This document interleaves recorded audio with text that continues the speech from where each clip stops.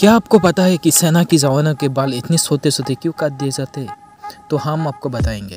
सेना में कोई बार जंग के दौरान जवानों को नहाने का समय नहीं मिलता, इसलिए उनके बालों को सोता किया जाता है।